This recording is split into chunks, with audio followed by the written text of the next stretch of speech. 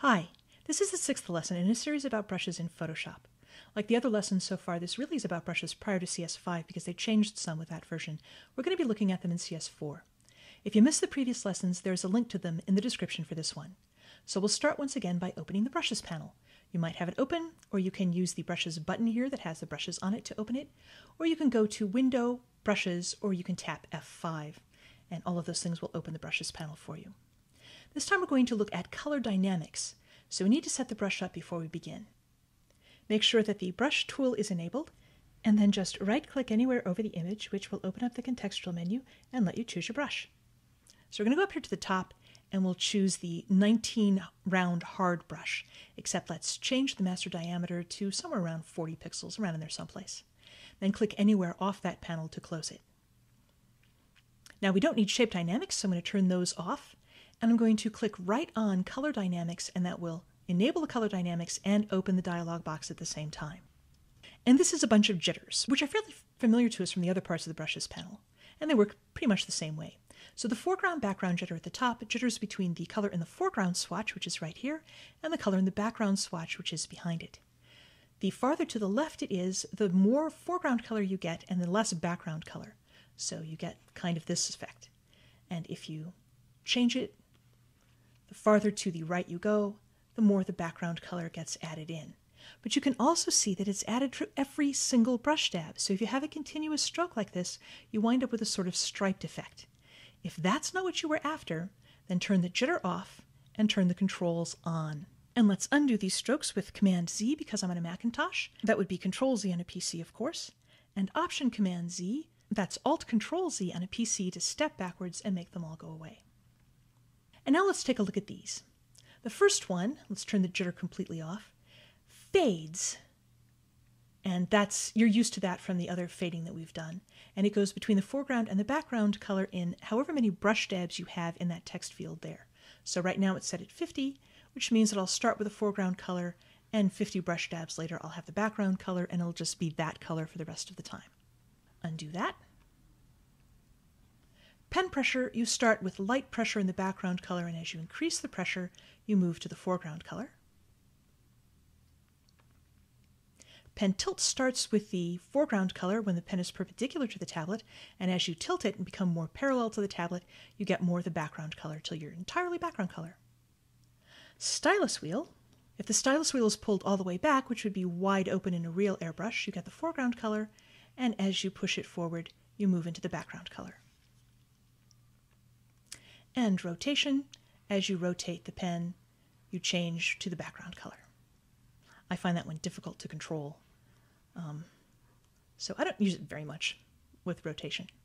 However, all of these work together, they're combined. So if you have, for instance, the fade and you have the jitter, then you jitter until you get to the end of the fade. And the way the jitter works is to add jitter to whatever color it would be according to the fade. So as you can see, we don't have a whole lot of jitter, and up here we start mostly with yellow, and down here we're mostly into the purple. So that's the way those work. Make sure that's turned off if you don't want it. And um, speaking of which, let's turn those off and take a look at these. The hue, saturation, and brightness, of course, jitter the hue, the saturation, and the brightness.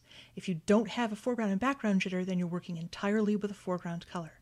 So with a little bit of hue jitter, we will jitter on both sides of the color wheel from the color we started with, which in this case is yellow. So as you can see, we're getting a little into green and a little into orange, but not a whole lot.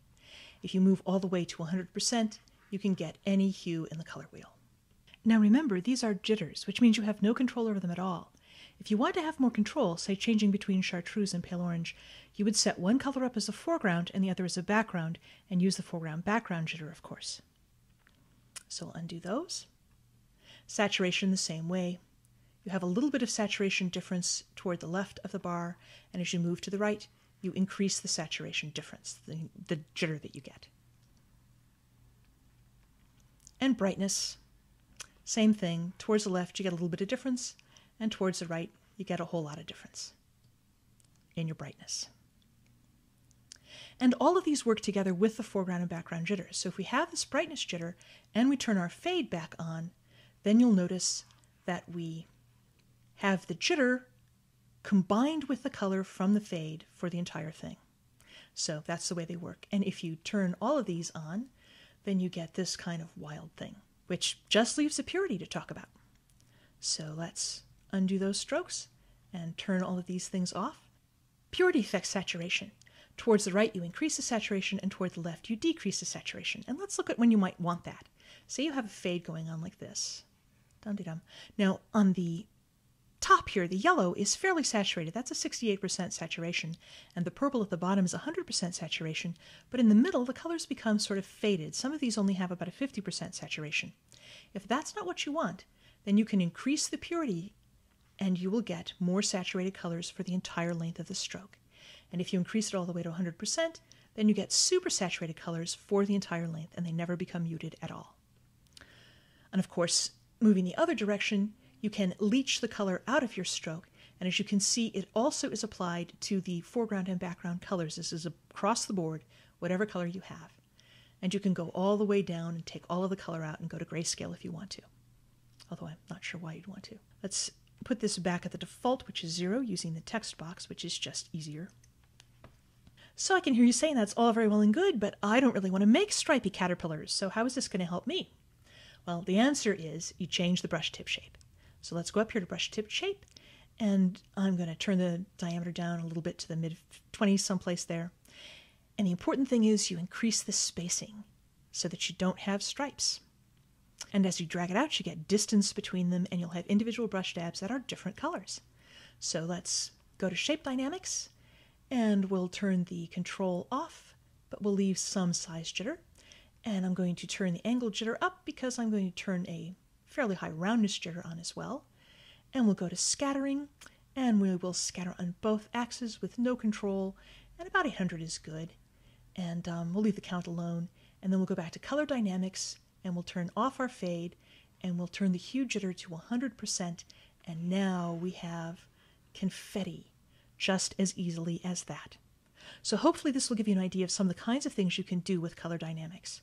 Try changing the brush tip shape and you can make grass in various shades of green, or you can make exploding golden stars or other really neat things. But we are out of time, so next time, other dynamics. And until then, this has been Robin Wood, and I hope you found this helpful.